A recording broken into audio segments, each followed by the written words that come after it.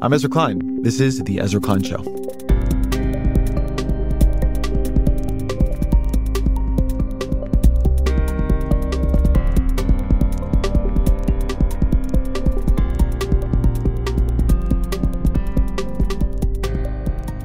So, as I get ready to move to New York, I've been thinking a lot about the politics of California.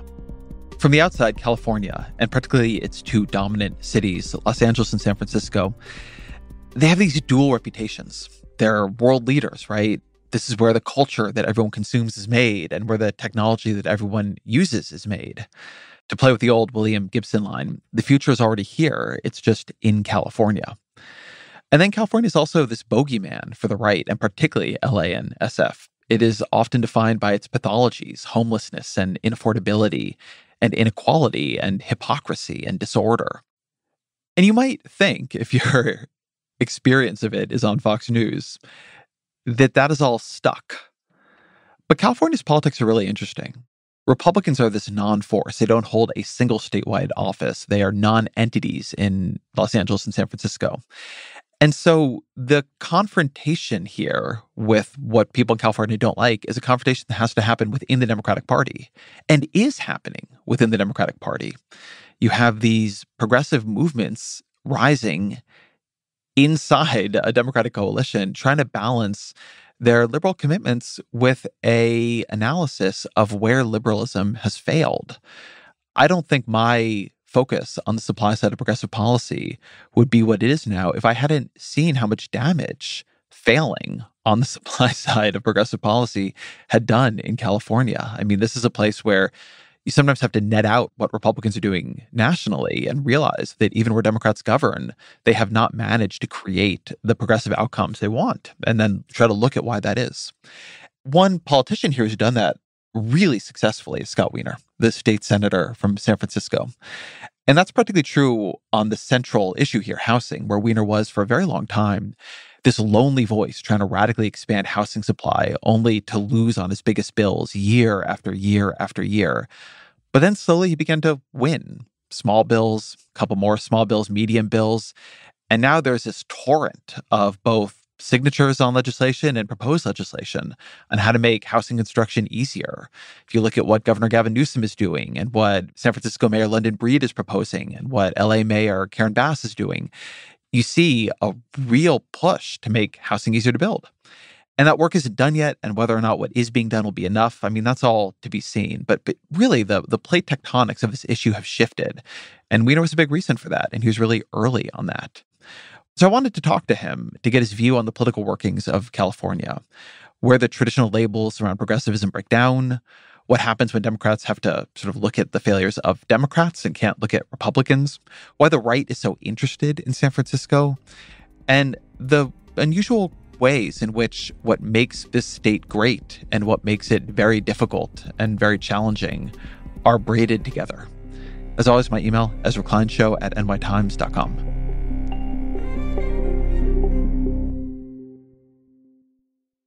Scott Wiener, welcome to the show. Thanks for having me. So tell me a bit about your path to politics. How do you get here? It was a really long and winding road. No one in my family had ever been involved in politics before. And when I was a teenager in New Jersey, I started interning for my member of Congress. This is back in the 80s. Who's who's your member? Jim Florio.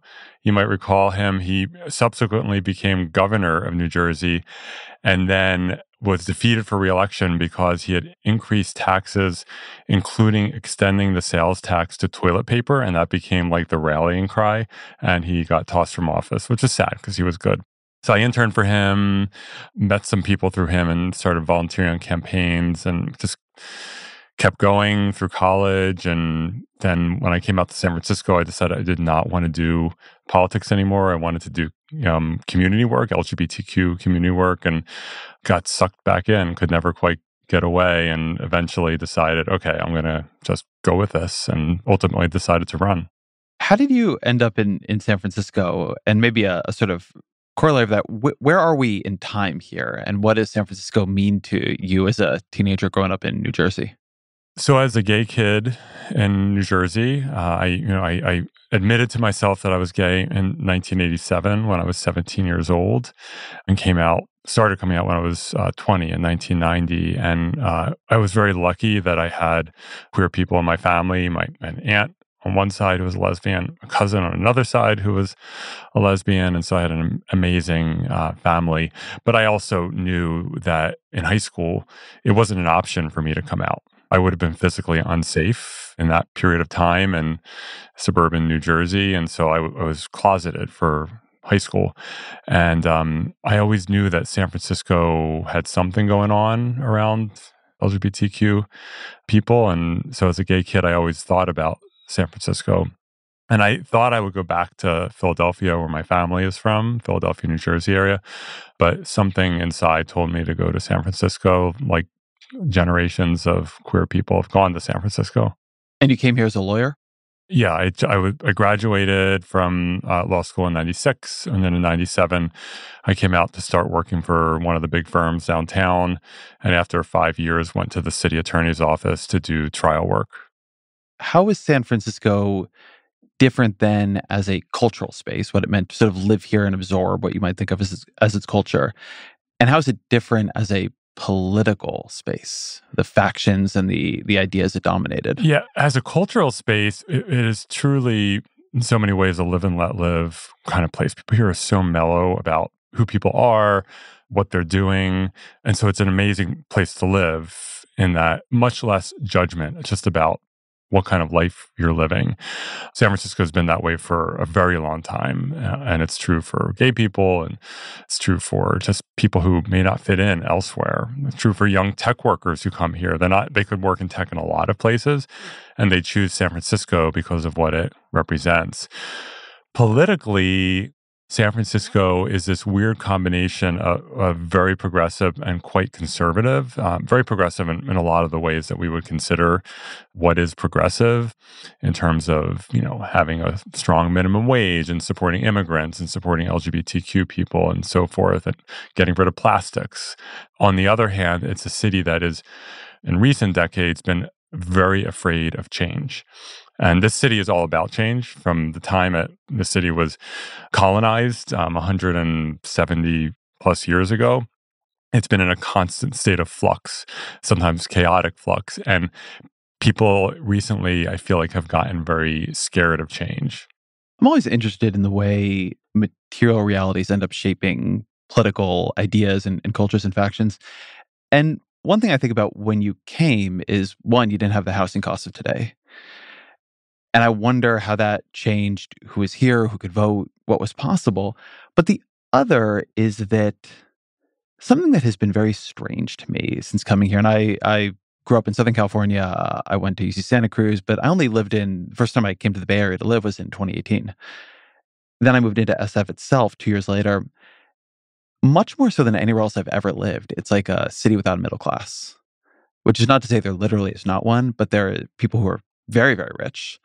There are people who are very, very poor. And compared to other places I've been or spent a lot of time, you know, DC or Los Angeles or New York, it feels to me like that middle has really shrunk. You see many fewer kids here because it's so expensive to raise a family here. And that does feel like a profound pressure on the politics.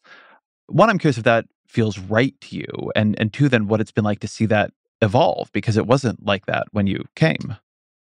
Well, it was on its way uh, in that direction when I arrived in 1997 because our bad housing policies and bad approaches to housing, very anti housing policies had started decades before. And when I arrived in San Francisco, I remember I arrived on a Friday night stayed with a friend of mine in the sunset and then saturday morning started my apartment hunting and i thought it, i would do it the old fashioned way like i did in philadelphia and in boston everywhere else. You just go and you find an apartment you sign a lease and you're done. Such a sweet naive boy. I was naive. I showed up at my first uh, open house. It was in the haight on a saturday morning and there was a line down the block and when i finally got in people were trying to bribe the landlord to give them the lease. And i wondered to myself, what on earth is going on here. And that was my first entree into housing in San Francisco. I learned a lot. I learned the reasons why after that, but it has definitely been on that trajectory for a while where, where you look like a neighborhood where I, I've lived in the Castro for 26 years. It used to be in the Castro, you could be a working class family raising three or four kids and just have a house there. That now doesn't work. I mean, the, a home, a decent sized family sized home in the Castro single family would be probably two, two and a half million dollars. Even a large condo would probably be 1.5 million. And so it is a, definitely increasingly a city where it's harder and harder to be middle class, particularly raising a family. There is still a middle class here. There are people who are so committed to the city and they they make it work and I'm in awe of them because we do not make it easy. One of the things that I began to realize here after a bit is that it's just very strange to live in a place where to own a home means to be making one of two statements about yourself. One is I've been here a long time, or the other is in some way or another I'm wealthy that is not how it works in every place. Yeah, it, home home ownership is a whole different thing here.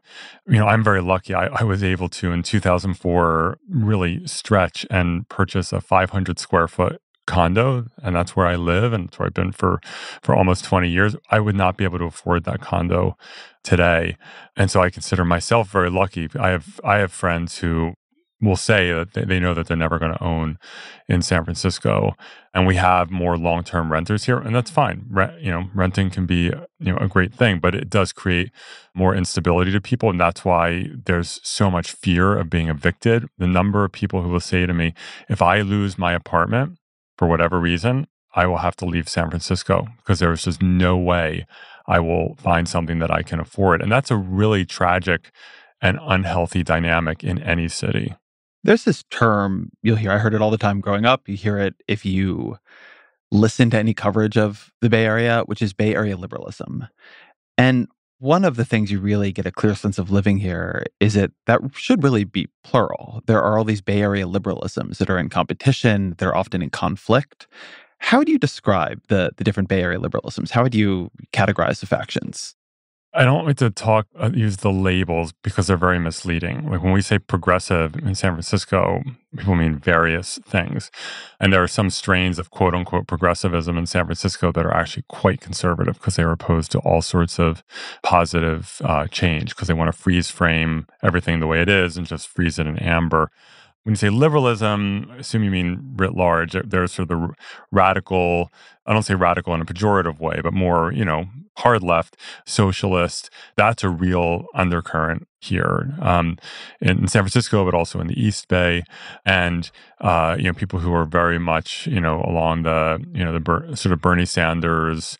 We need to just radically restructure the whole system, uh, and that is a very real undercurrent here. Uh, you have uh, also people who are uh, describe themselves as progressive, or, but they came up during a time period where there was a, anything that was change was viewed as dangerous and terrible when it came out of the you know 40s 50s 60s when we were like bulldozing entire neighborhoods in the name of progress and trying to build freeways in the middle of golden gate park in the name of progress. And so people who came up during that time period came to view any kind of change, development, building anything as harmful and destructive. And so they consider themselves liberals or progressives, but they oppose new housing, they oppose physical changes to improve public transportation. That attitude has harmed San Francisco. It, it, came out of a reasonable place. We don't want to bulldoze neighborhoods anymore, but it turned into this opposition to all change they are classified as often progressives or liberals in in San Francisco and the Bay Area. I don't I don't think that that's a very progressive approach. Then there are for lack of a better word, YIMBYs or, or abundance liberals or progressives, and people who are you know very liberal and they have the opposite point of view around around change that we need to make it easier to create good things, whether new homes or new bus lines or new clean energy or whatever the case may be. And so those are some of the big strains. And how about the strains that are emergent out of tech? And I put that a little bit differently because it's never clear to me how many votes some of the very loud voices in the VC class actually command or represent or, or, or what that looks like behind them. But how would you describe the sort of faction that I think emerges and is powerful on Twitter right now, but that is a place where a lot of people now get their political understanding of San Francisco? In terms of tech, tech, tech is obviously very diverse. And I, I, remember 15 years ago, this is when I was sort of getting ready for my first you know, run for the board of supervisors. And we were starting to see um, a tech run up, um, which or could see it coming. And I remember there were people in politics saying to me, tech is going to is starting to explode in San Francisco. It's going to completely change the politics, make it more middle of the road. It's going to be a whole different ball game. That turned out to be completely untrue because you know, as I mentioned a little earlier, tech workers can often work anywhere. There are a lot of different places in the US where you can be a tech worker.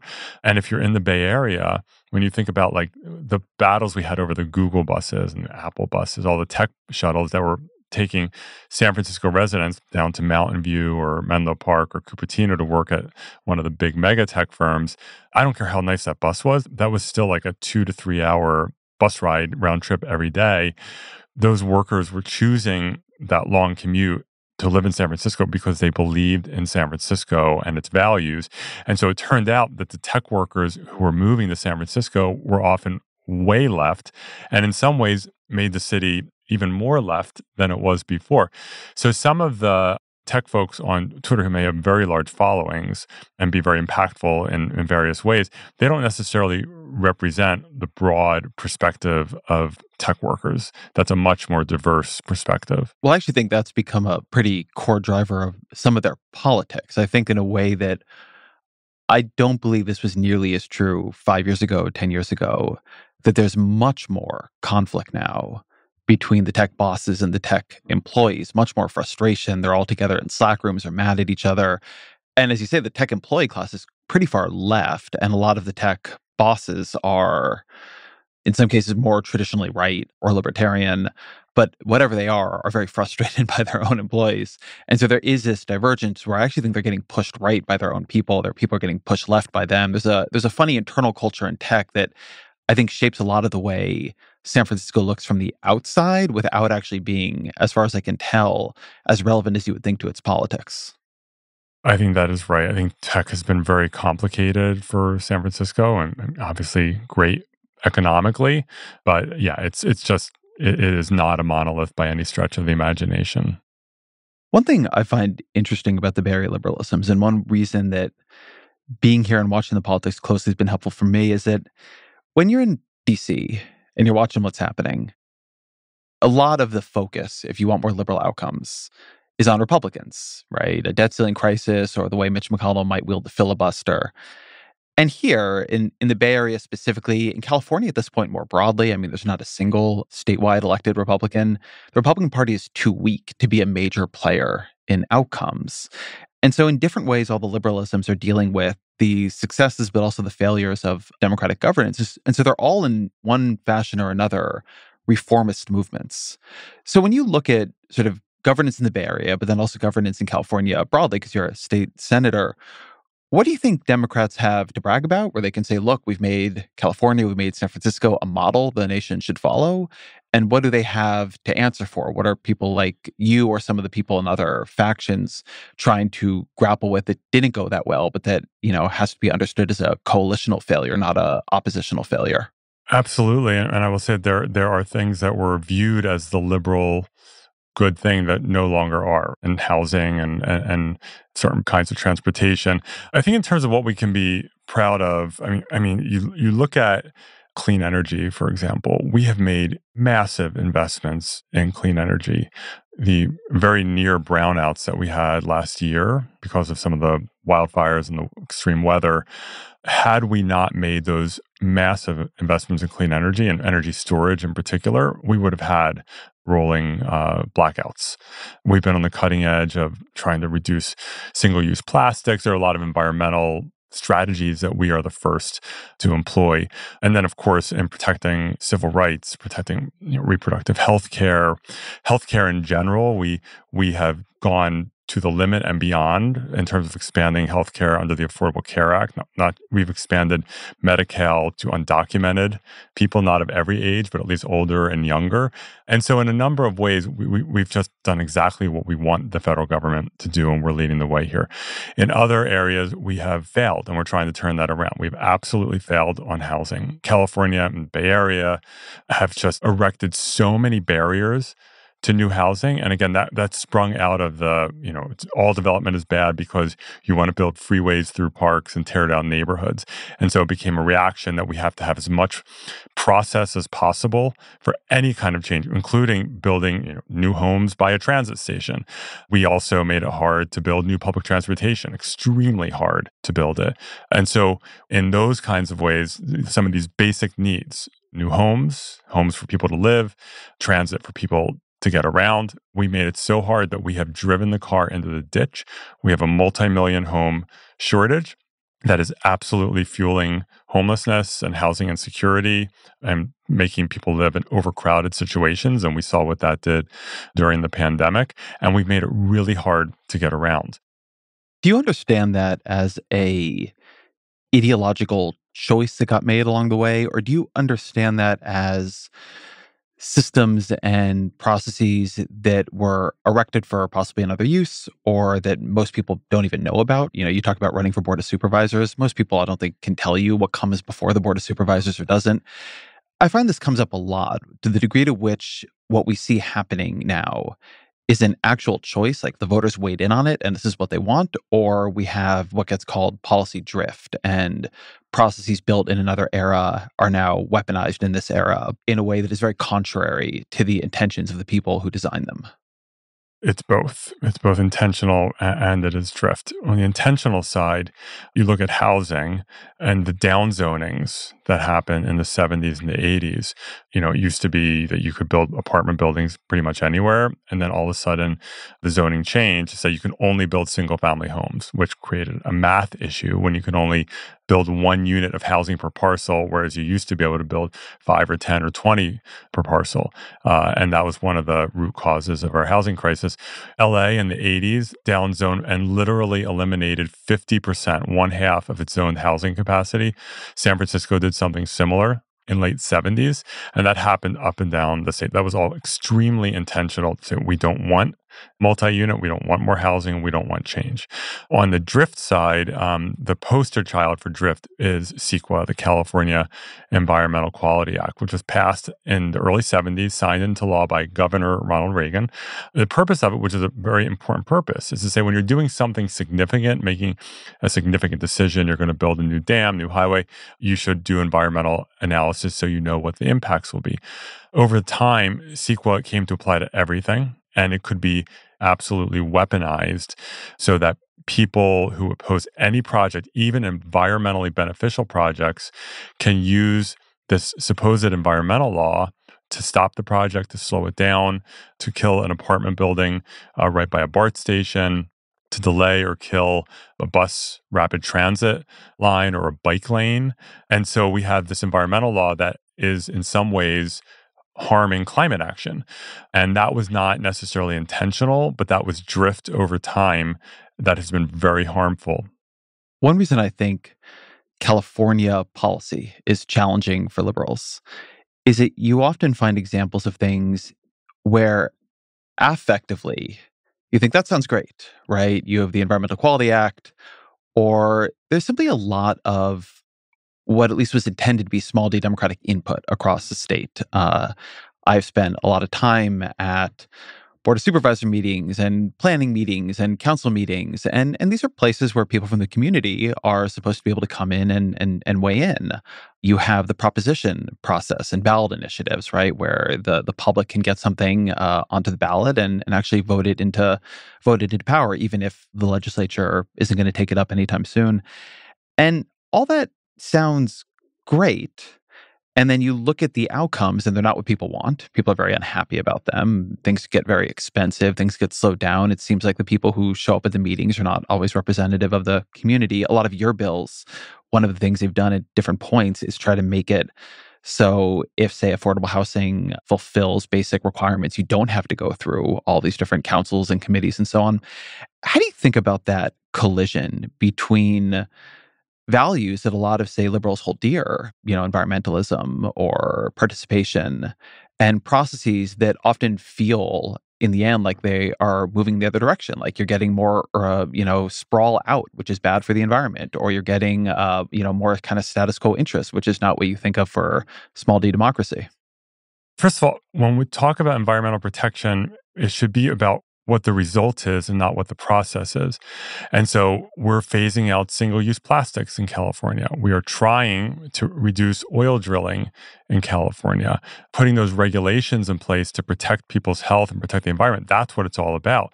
Putting process in place that can actually harm the environment by killing a new rapid bus line or by slowing down or killing a clean energy project. And we've seen CEQA and other environmental laws used to stop clean energy. And Bill McKibben actually just wrote, oh, you know, one of the most respected climate activists in the world, just wrote an amazing piece about how this over processing of decisions and abuse of environmental laws can actually impede climate action.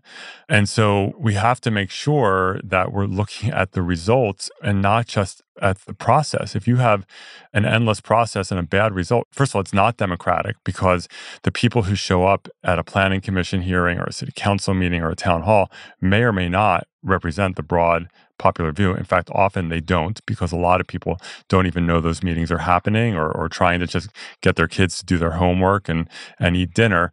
And so we have in some ways harmed our democratic process by letting it be hijacked through uh, a very, very unrepresentative community process, which can often impede things like climate action.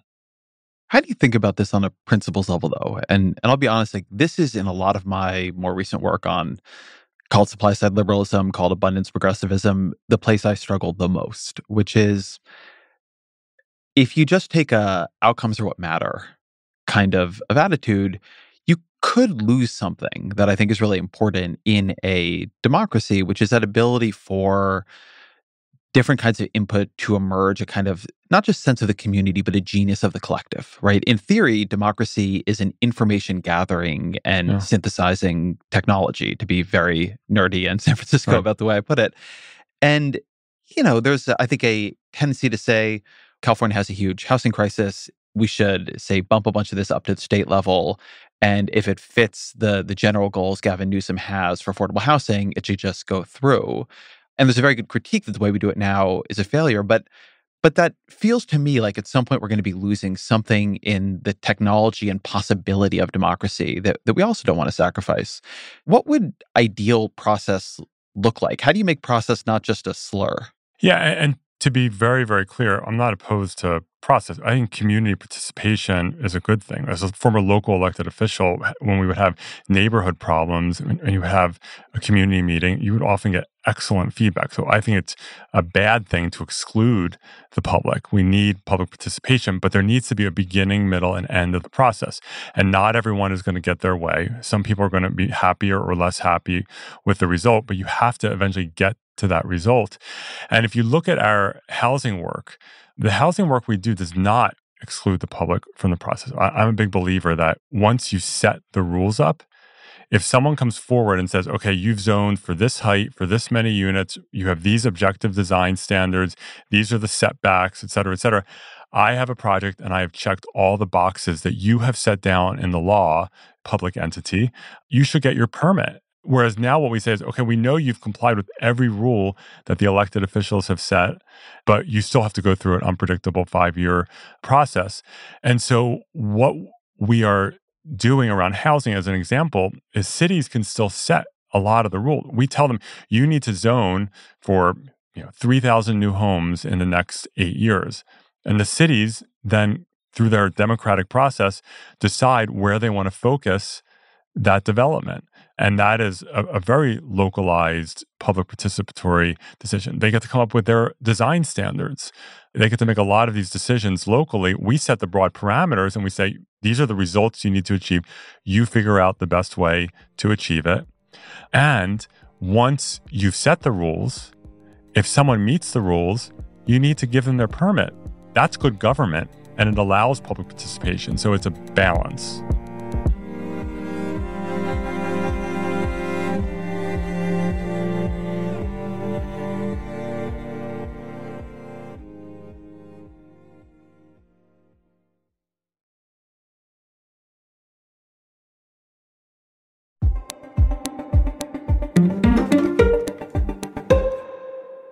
About the propositions, the ballot initiative process, which in a theoretical way, I find completely inarguable. You should be able to, you know, get enough signatures and get something on the ballot and, and be able to bring at least some things that have very intense support to the direct democracy. And I barely know anybody at this point who doesn't think that process is a mess, who isn't worried about the amount of the budget that is tied up in things that sounded good when somebody put it on the ballot there's a sense that you just, if you have enough money, you can kind of get anything on the ballot. What should we learn from the ballot initiative processes, uses, and abuses? And to add one more fillip to this, I'm always so struck that that process emerges out of a feeling that the railroads have bought the entire legislature. You know, back in the early, uh, the early late 19th, early 20th century, and then you get later on Uber and Lyft, sort of modern mega transportation players use it to make it impossible for the legislature to do anything about gig workers. So you do have this also weird kind of modern version of it where it was meant to be a way around corporations. It's now a pathway for corporations. What should be learned from that? One thing I've learned is that the voters really dislike the ballot measure system for a lot of reasons.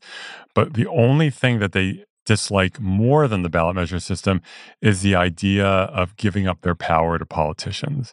And so I actually, when I was a brand new supervisor, and so many people had said to me on the campaign trail, there are too many ballot measures. You people need to do your job. And so I proposed a very modest reform to San Francisco's ballot measure rules so that the Board of Supervisors and mayor, years after something was passed, could make modest changes to it without having to go back to the ballot to account for changed circumstances. I got all sorts of endorsements from editorial boards, got it on the ballot. It got 30% of the vote. It got just destroyed. And so I learned then that people really don't want to give up power to politicians. But the reality is that the ballot measure system, especially at the statewide level, is not doing what, what it was intended to do more than 100 years ago when it was created. I don't, it's been decades since a volunteer driven ballot measure was qualified via signature. It, it usually is more along the lines of Uber and Lyft. Um, writing their own industry regulations and putting it on the ballot and then spending $100 million to get it passed or um, you know the the cigarette companies doing a referendum to repeal our restrictions on flavored tobacco. Or now we we passed a, a law to say you can't drill for oil right next to someone's home or by their kid's school. The oil companies have qualified a referendum to repeal that. And then, of course, local government cannot fund itself without going to the ballot. And now there's a ballot measure being proposed by the business community that would say to pass any local tax, it has to be a two thirds vote. So there's a lot of problematic aspects to our ballot measure system that make it hard to fund basic public services and to govern the state. When you were talking about the different liberalisms earlier, you mentioned one as sort of YIMBY liberalism, you know, yes in my backyard liberalism. And I do think of the YIMBYs as one of the much more consequential policy movements I've seen emerge just in my time covering politics altogether. And they emerged in part around you. I mean, you were on housing quite a bit before most people were. It's how I first started hearing of you back when I lived in DC. You had these bills, including uh, a very famous one that would have allowed a lot more development around transit. These became big flashpoints, and to the the extent I think some of these movements emerged, they emerged around the idea that well, passing things like this is what it would look like to be a YIMBY, and so it, it sort of made it more literal. How did you get into housing and particularly how did you get into the the view that you just need more of it which is not where everybody uh, certainly 10 years ago who thought about that got Well, it, it was uh, probably a 15 year journey for me. I, I mentioned earlier that, that, the first apartment open house I went to in 97 was a line around the block. Um, after that, as a young lawyer, I did a lot of pro bono work representing or defending low income renters facing eviction. And these were people who, a lot of long term HIV survivors, who would uh, tell me if I lose this case, I'm going to have to leave San Francisco and I won't be able to get the HIV care that I need. I then uh, got active in my neighborhood association and I I still remember one excellent project that was entirely within zoning that had to go through 50, 50 community meetings before it went to the planning commission. And I remember thinking, why 50? Couldn't we do this in like four meetings or five or seven or three? Why 50? It, it seemed ridiculous to me. And then I got on the board of supervisors and I quickly saw the, the just the chaos around around housing, that everything was a fight and that we created the rules to allow the loudest voices to obstruct pretty much anything or drag it out and make it more expensive. Meanwhile, I saw the damage that that was causing with working class, low income people, and I connected the dots. It took me some time, but I finally connected the dots that this system, this anti housing system we met up, that we had set up, that was designed to make it hard to build housing, was directly harming people was causing evictions, was pushing people out, pushing people into homelessness. And the more I learned about it, the more horrified I was. And that's why I, you know, early on, I did something that no one did uh, back then. I, I, proposed legislation to upzone m- my entire district, only my supervisor district. I wasn't trying to put it on the whole state, just my district. And it passed and it had a lot of support. And then I said to myself, wait, I thought people were supposed to hate new development and new housing. Maybe they actually like it my neighborhood group did a poll like an online poll for that ordinance that I proposed to upzone the district, and it got like 70% support. And so I saw something there. And then when the YIMBYs, a woman by the name of Sonja Trauss was the first. She started showing up at the board of supervisors, sort of berating us about not approving more housing. And I sensed something was happening, and it was a trickle, and then it became a tidal wave. I think typically when people think about the dynamics of an issue, they, they think first about polling. As you just mentioned, you know, would people in your district support that or oppose it? But you've been around a lot of these bills now. You've passed some, you've failed on a bunch.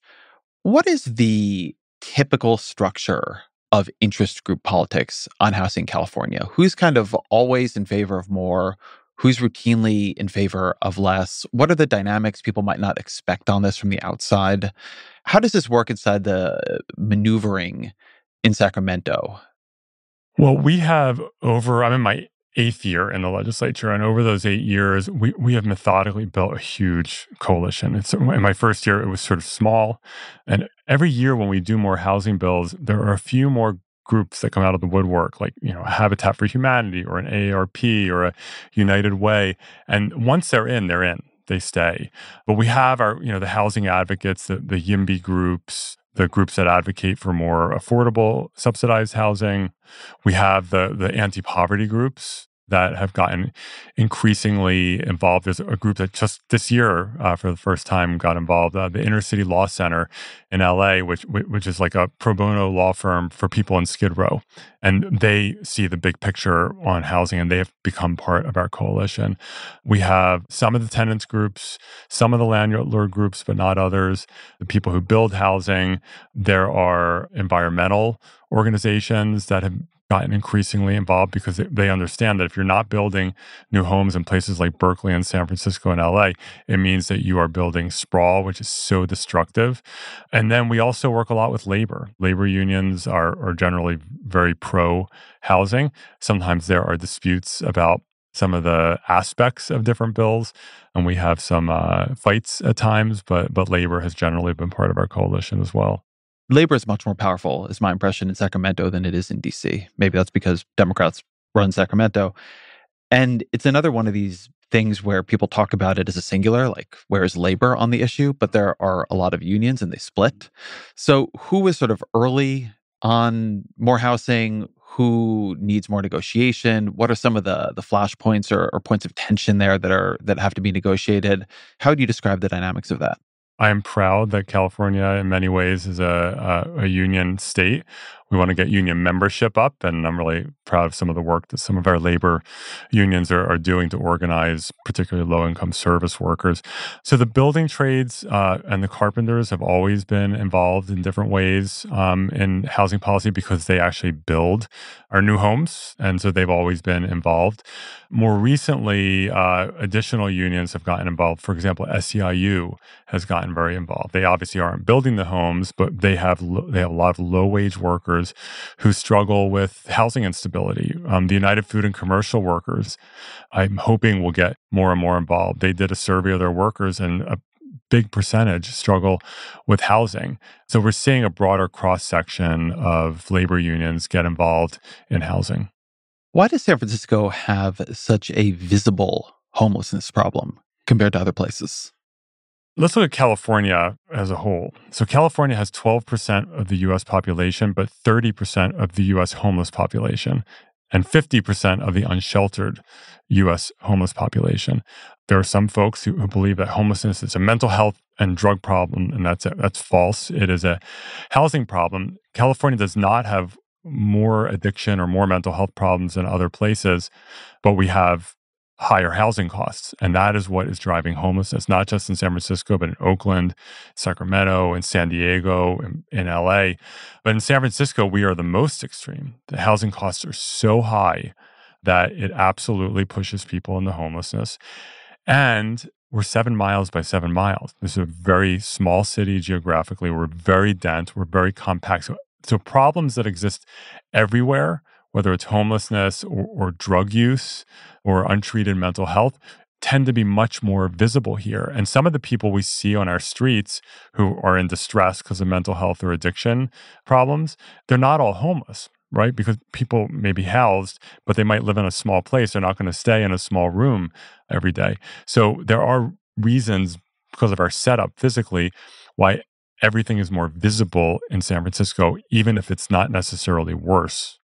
Why do we have such a significant unsheltered homelessness population? I mean, if you look at numbers, New York does not look better on homelessness than we do, really, but they are better on sheltered homelessness, right? They don't have as many people unsheltered. We are unusual in how many people are actually out on the streets, even given our homelessness population. Why? New York made a policy decision decades ago to create what they call a right to shelter and a mandate that the city has to provide shelter to anyone who needs it. And so New York has a massive, massive shelter system that definitely, I think, reduces unsheltered homelessness. It also is a massive drain on resources that could be going to permanent housing.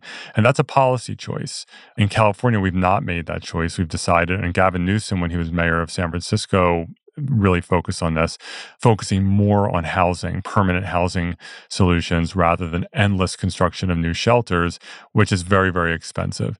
And so, if the desire has been to solve the root cause of homelessness, which is a lack of housing, rather than the, the more triage approach of temporary shelter, there are people on both sides of that argument. And people have good points on both sides. I personally, I'm a housing person. I also think we need more shelter beds. We do not have enough shelter beds in San Francisco, and that makes homelessness more visible and means we have more unsheltered homeless people.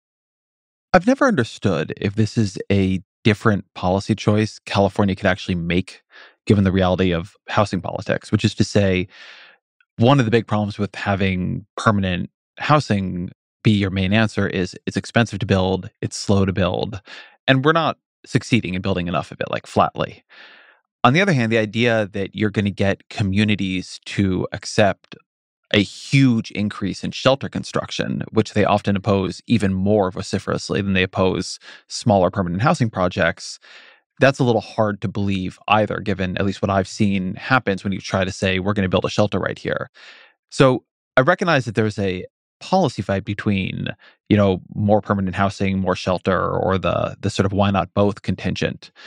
But in terms of the the real question i've always wondered. I mean if gavin newsom and mayor london breed and others tomorrow wanted to go the shelter route could they? Is there the political capacity to just put shelters up all over san francisco There is, and it wouldn't have to be all over. And and again, it's not just San Francisco. There's bad homeless problems in other cities. In in fact, LA is actually on my mind here because I've reported yeah. there on the efforts to try to build shelters yeah. and housing through things like Prop HHH. Yeah. And the community opposition was ferocious. So we have actually passed various laws, and I've authored some of them to streamline or make what we call ministerial, so non-discretionary, the addition of supportive housing, navigation centers, which are like a better form of homeless shelter, and other tools to make it so that cities cannot block shelters or supportive housing. Cities are required in their every eight year housing plan to designate a, a zone of their city for um, automatic approval of homeless shelters. And those locations can't be in the middle of nowhere or an industrial area. It has to be in a place that is actually connected to services. And we've passed other laws as well. So cities now and private individuals, nonprofits, have tools to be able to site these homeless services, homeless shelters, navigation centers, supportive housing, and not have to get approval from a city council or a planning commission. So why doesn't San Francisco build a lot more of them? San Francisco definitely prioritizes building supportive housing for homeless people. Uh, the mayor and the city are also prior, I think, beginning to prioritize mental health and particularly more mental health beds. And that is a resource choice. They, the city has the tools legally to add more shelter. The city has really focused on housing and, and mental health beds. And there's a reasonable argument. I feel like I watch you get more diplomatic as we talk here. Do you think this is the right choice? Um, we we do need more shelters. I don't want to see us go down New York's path where we put so many dollars into into shelter that we don't have the resources to build the housing that we need. I do want to continue to prioritize housing. We do not have enough shelter beds and it's taken us like over 50 years to dig ourselves into this hole. It's going to take us time to get out of it. So it's not like we're going to fix the housing problem in two or three or five years. It's it's a longer term process. And so until we get there, we have to have these triage solutions like navigation centers or other forms of shelters and we don't have enough of them in San Francisco. We do need more and I believe the city should create more. One of the things that has been dominant in both the politics here while I've lived here and the way the politics here are then refracted, particularly through right wing media, is what gets called crime and what I would call disorder. Because, and this has been said by many people now, San Francisco does not look unusual on crime statistics. We actually have a lower murder rate than a lot of the cities that other people talk about as being a place they want to move to, like Miami. But there is a lot of what people experience as disorder on the streets. You walk around and you see people doing drugs very much out in the open. The Tenderloin is like a, a just a, it's wild what happens there. And it is distinctive. I mean, you can find things like this in other places, Skid Row in LA. But there is a sense people have that San Francisco has made a political decision or a policing decision to live with more disorder for one reason or another. How do you think about that? You're absolutely right that we have of the mid-sized to big cities, we have one of the lowest murder rates. We have a, a we have a fairly high property crime rate, and that does really impact people when their homes are getting broken into, or their cars are getting broken into, or vandalism happens. It scares um, people when your home gets broken yeah, into. It's very scary. Uh, we've had our car broken into a bunch, but there is a weird thing here that has not happened to me elsewhere where just everybody says you can't leave anything in your car. Right. When people say that, it speaks to a pervasiveness of well, a fear. Well, and for people who need their car to get to work, you know, right. It's, it's, a it's a problem, and it's terrifying when someone breaks into your home, especially if you happen to be there. Yes. And so there are crime issues in San Francisco. But we also have to be clear that even if violent crime is low, if you've been victimized, or your friend, or your neighbor, or your kid, or your, your husband or wife has been victimized, violent crime is high for you. And so I, think it's really important uh, not just to rely on the on the statistics, because it's also about people's personal experiences and what, what they're going through. And when you see someone on meth on the street, acting in a in a really bizarre and, and scary way. That that is really scary uh, for people because also they don't know what that person is going to do. And so yes, people are concerned. I think people have a right to be concerned. I think there are things happening on our streets that are not okay. And some things, like for example, in the Tenderloin, the, the open air drug market there, I don't think that arresting drug dealers is going to end addiction. It won't. People will find another way to get drugs. But that drug dealing has huge impacts, public safety impacts on that neighborhood. And and if you're someone who's raising a kid in the Tenderloin, and there are quite a few kids in the Tenderloin, and that kid has to walk through a drug market to get to school, that's a huge problem. And so I think sometimes San Francisco gets unfairly tarred as, as, sort of this Mad Max Thunderdome situation, and it's absolutely not. But there are parts of the city where there are real issues, and and there are some really legitimate safety issues that the, that we need to do more to deal with. But let me get at a wrinkle of this. So I lived in DC for about 14 years, and crime was much worse there. Mm-hmm. And violent crime was much closer to me there. Mm-hmm. Uh, the number of my friends who got mugged, one of my dear friends' roommates got shot, terrible things happened constantly. And so they were having a lot of trouble getting crime under control.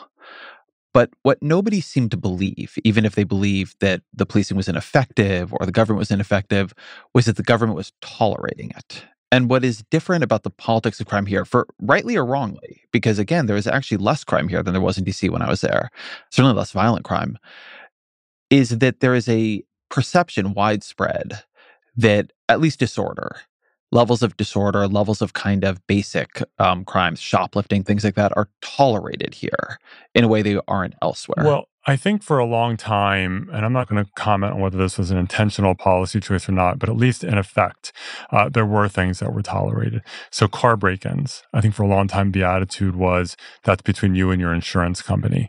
Shoplifting, it was not a high priority. Even the Tenderloin, I think, was in some ways effectively a containment zone, which was horrific for the residents, including many older people, people with disabilities, immigrant families who were living in the Tenderloin. And so I think in, for some types of problems and crimes, uh, there was a tolerance. And I think that's been changing over time. But the other thing they always keep in mind so, San Francisco is the best city on the planet. People love writing San Francisco's obituary. It's like almost like a national pastime. You know, every year or two, there's a big article proclaiming that San Francisco is dead. We always come back. So much good is happening in the city. And we as San Franciscans love the city and we expect it to be perfect.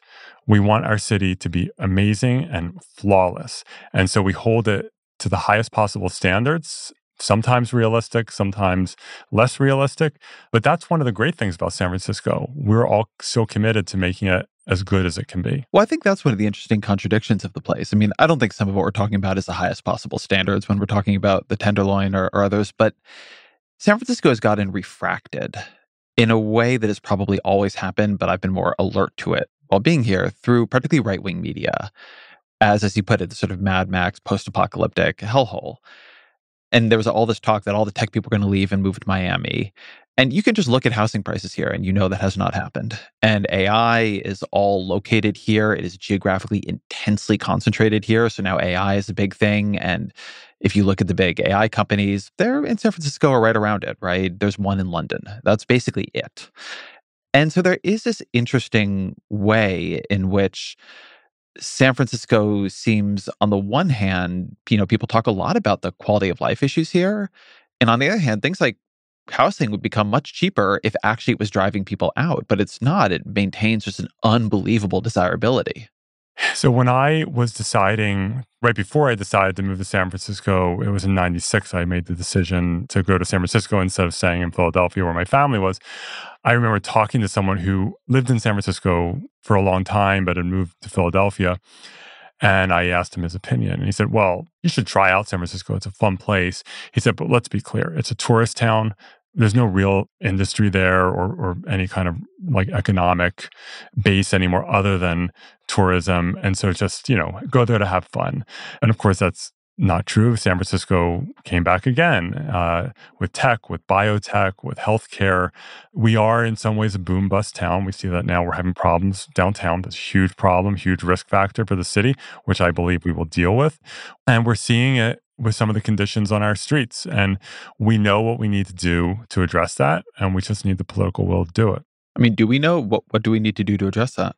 You know, we talked about more shelter, more navigation centers, uh, more housing, more mental health beds, more access to mental health treatment, much more access to addiction treatment.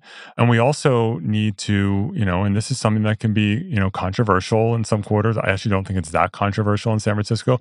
For people who are debilitated and dying on our streets, we need to give them an extra level of care. And so that's why we're in the legislature this year trying to expand conservatorships for the people who are truly debilitated, can't make decisions for themselves, and are dying. And we all see those folks on the streets every day, and people wonder why is that person out here clearly dying, and why is no one doing anything about it? And we're trying to change the laws to make that possible.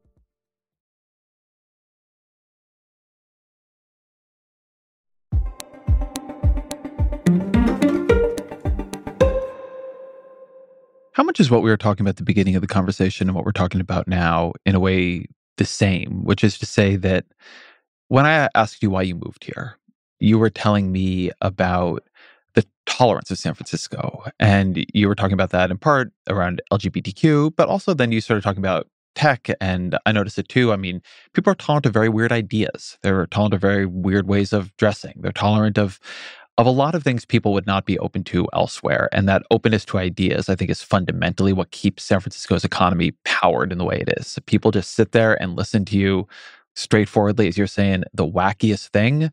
And in some percentage of those, you get a $52 billion company out of it. And that tolerance has political dimensions too. I mean, some of what we've talked about around more is tolerated here. I mean, there is political conflict around what to crack down on and, and what to not. Yeah.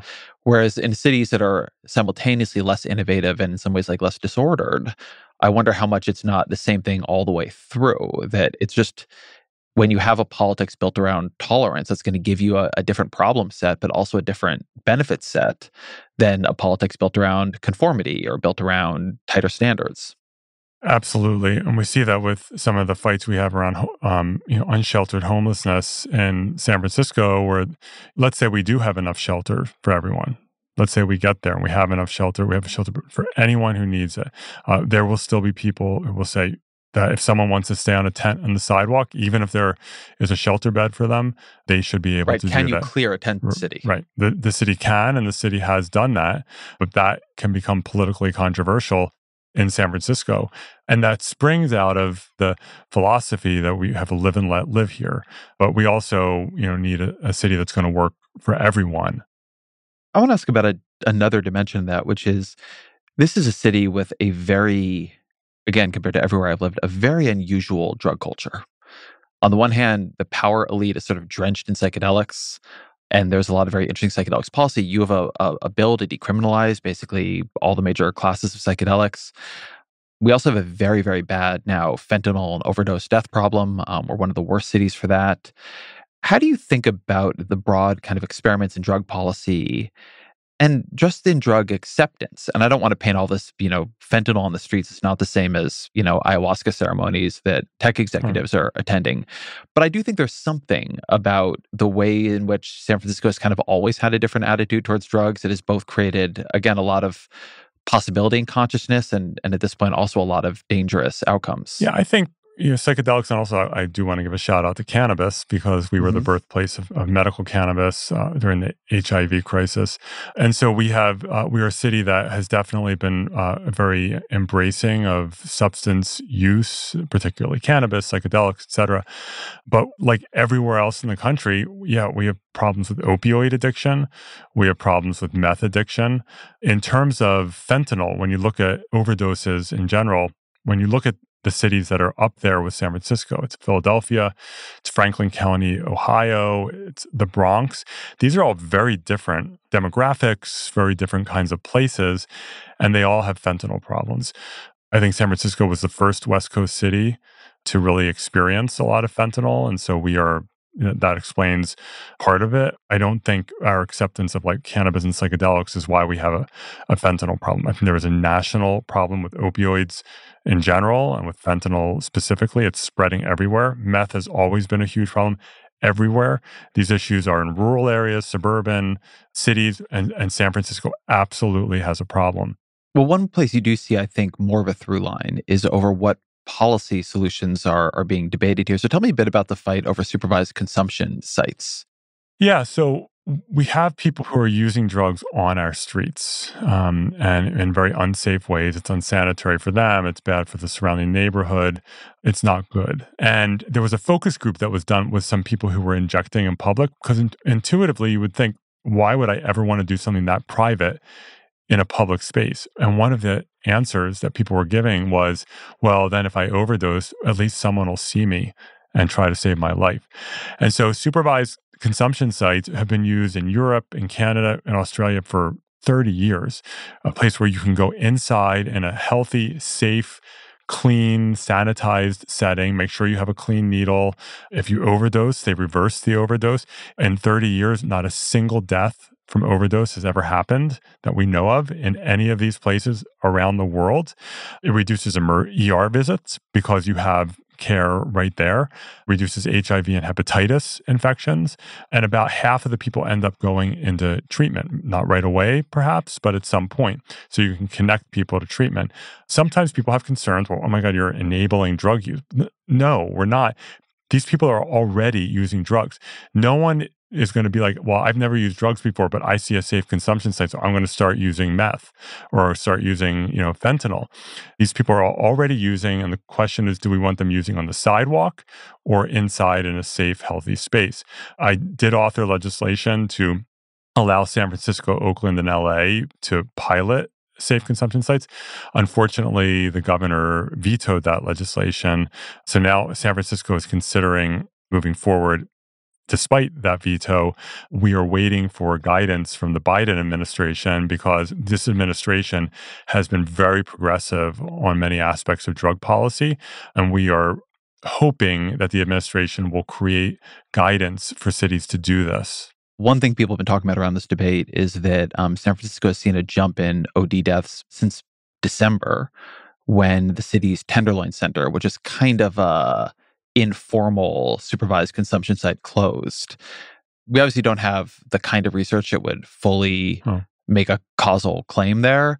But it seems to me a lot of people suspect and have been talking about the possibility that as people got turned out of that space where they were using drugs under some level of medical supervision, that it's led to more ODs.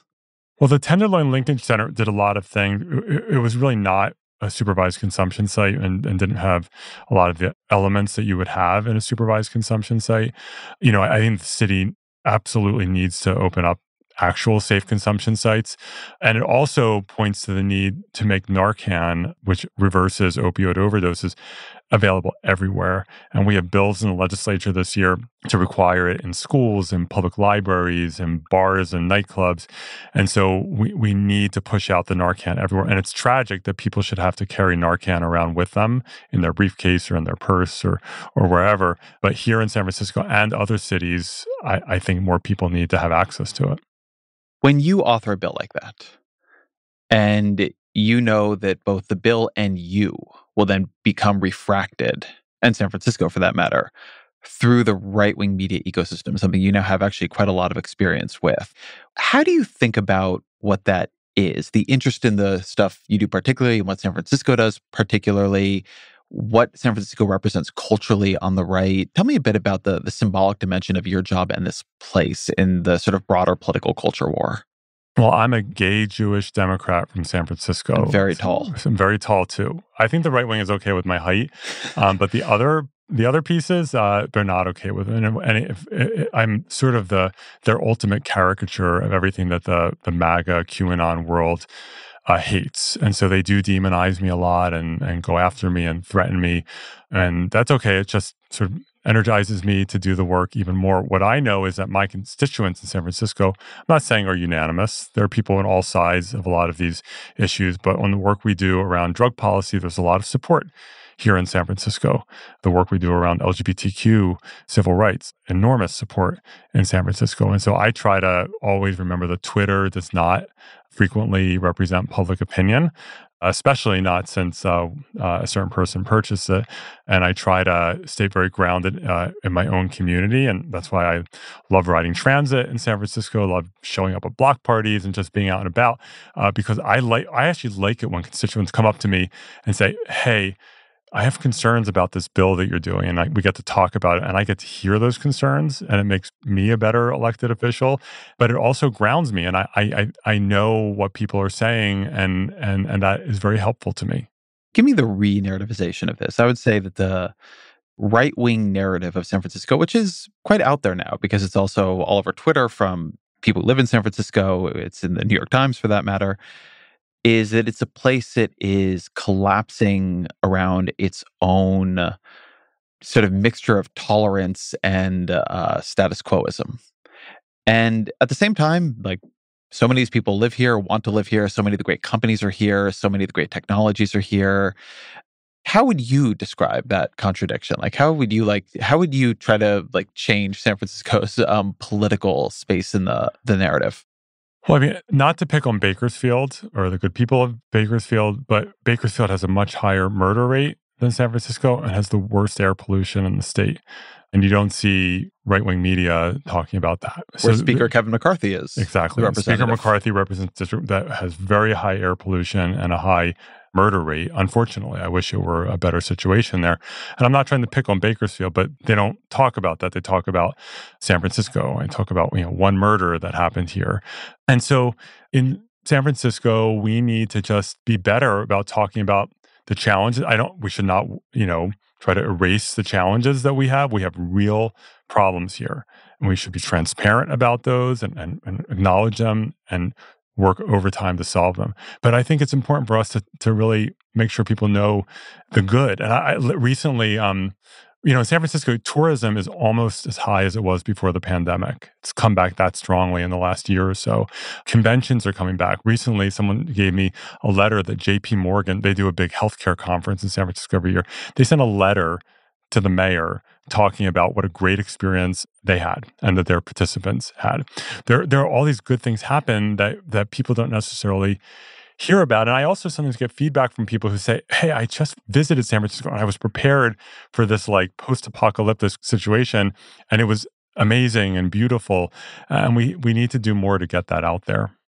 One of the things broadly that has been true, I think, about California politics for the last like four or five years, true in San Francisco, but true, I think, more broadly statewide, is that a lot of contradictions and difficult decisions have been papered over by money. And particularly during the pandemic, Gavin Newsom had this unbelievable budget surplus to spend. But in San Francisco, the downtown, which drove a lot of revenue, is in pretty unusually bad straits because so many tech companies are open to remote work. It's not coming back as quickly as it is in some other cities.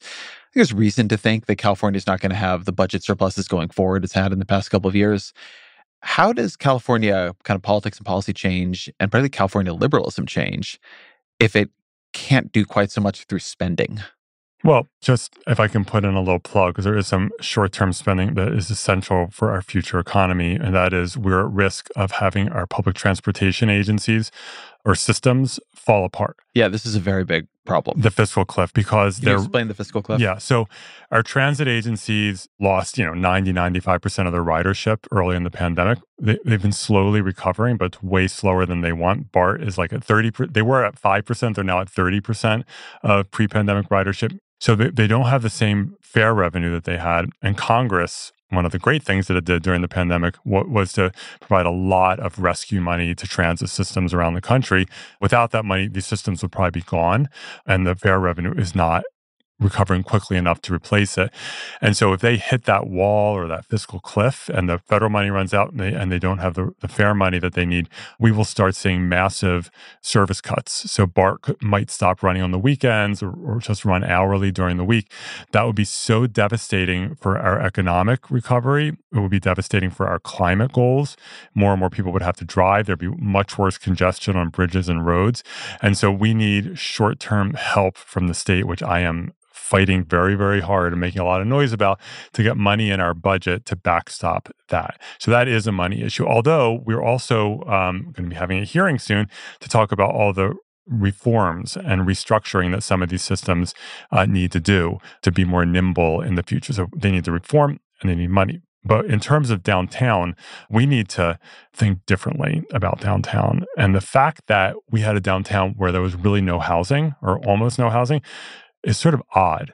And when you look at what happened in lower Manhattan after 9 11, and granted, they had an enormous amount of federal rescue money, but they turned a, what was only offices into offices and residential and, and nightlife.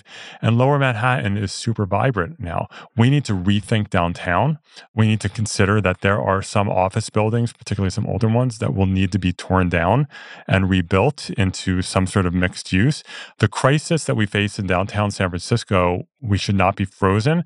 It needs to be an opportunity opportunity to completely rethink it and make it even better than it was before. Does that need money or does that just need the regulatory and zoning capacity to, to shift? It's both it will need regulatory uh, change because it's going to have to happen. It's not something that happens in a year or two. It might happen in five to 10 years. But right now in California, I, I mentioned the California Environmental Quality Act, which goes well beyond environmental protection. It does some really important environmental protection things. But any building that is 45 years or older is considered a quote unquote potential historic resource.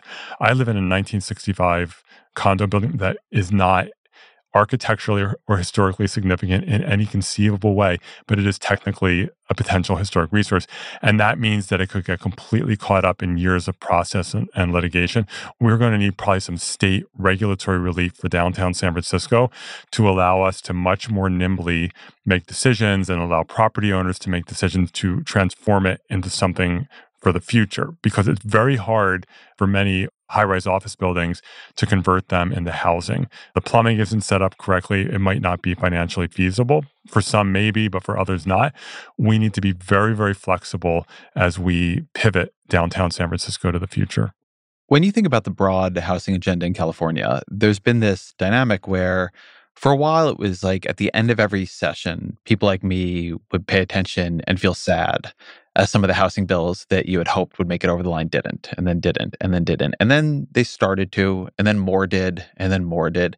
And then last year or 2 years ago there was like a flood of end of the year housing policy that got passed. I mean so much that most of us couldn't even keep up with all that had happened uh, what to you that has come into play will really matter here and what big parts of the agenda for you haven't happened like if you had your housing wish list these sure. three or four not bills but changes yeah. what would they be well what we've done we've done some really significant change that is is already having uh, impacts so actually the i i was probably best known for the um, the big bill you mentioned at the beginning that would have rezoned a lot of California. It was Senate Bill 50.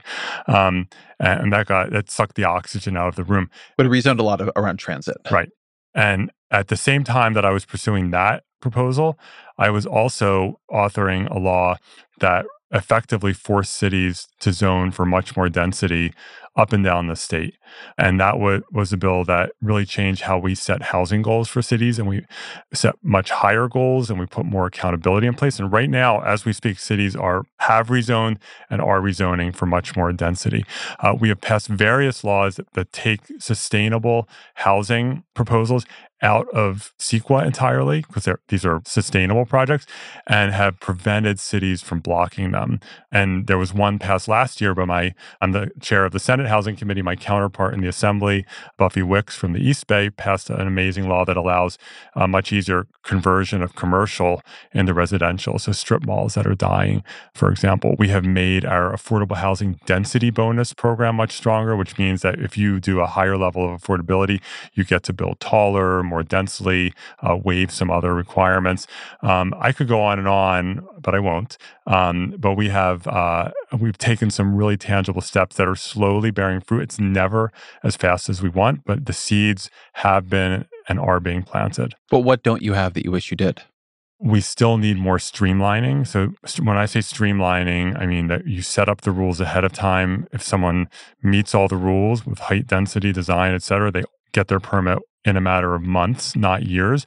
We have done some of that. And I had one bill that I had authored, and there were a few others that my colleagues authored to try to really do that kind of expedited permitting. We have a big bill this year, Senate Bill 423, uh, which will make a lot of that streamlining permanent and make it more robust.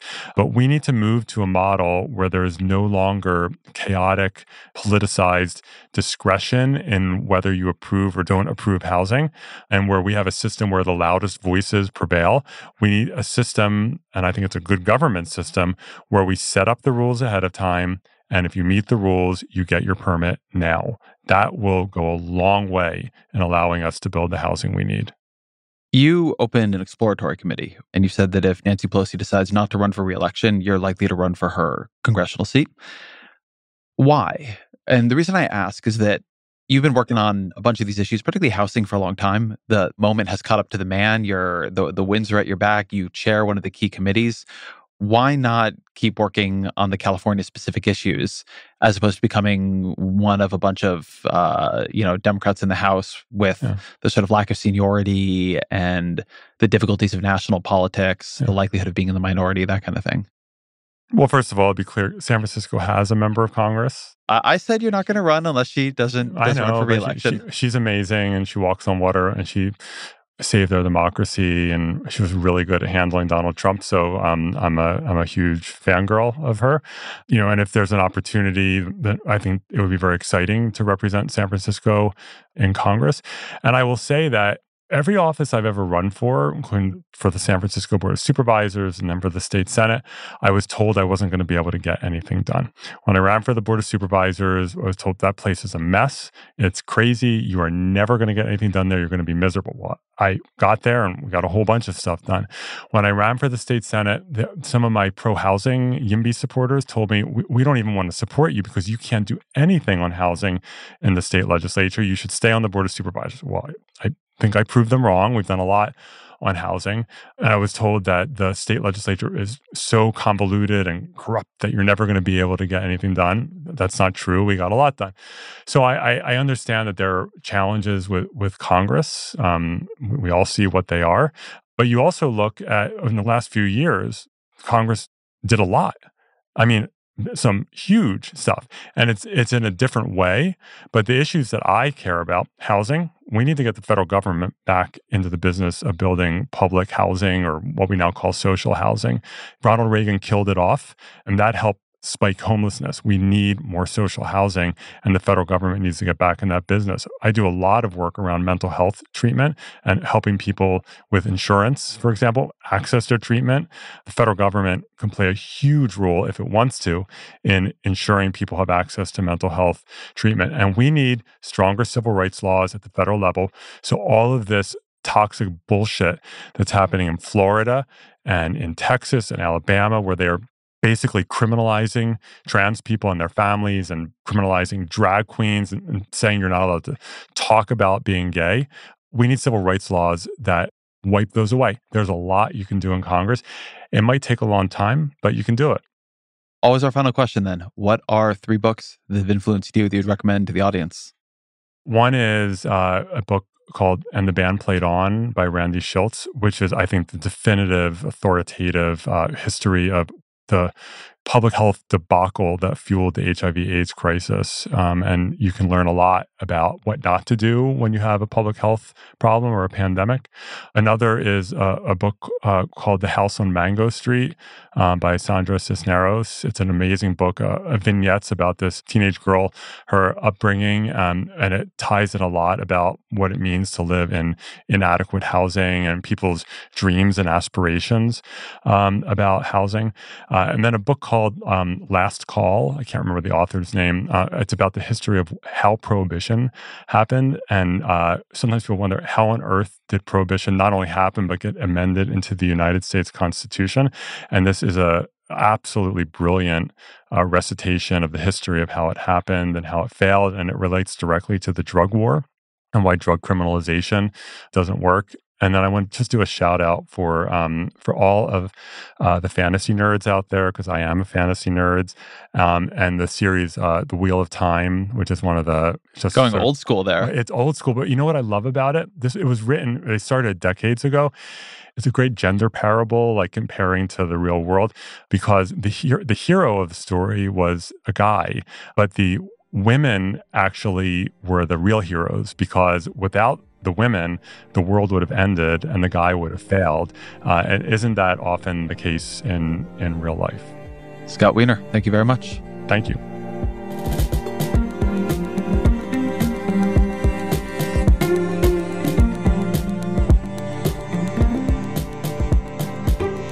This episode of the Ezra Klein Show is produced by Emefa Agawu. Our show is also made by Rogé Karma, Andy Galvin, Jeff Geld, and Kristin Lin. Fact checking by Michelle Harris, mixing by Jeff Geld, original music by Isaac Jones, and audience strategy by Shannon Busta. The executive producer of New York Times Opinion Audio is Annie Rose Strasser, and special thanks to Eric Mabist, Misha Chellam, Sonia Herrero, and Kristina Samulewski.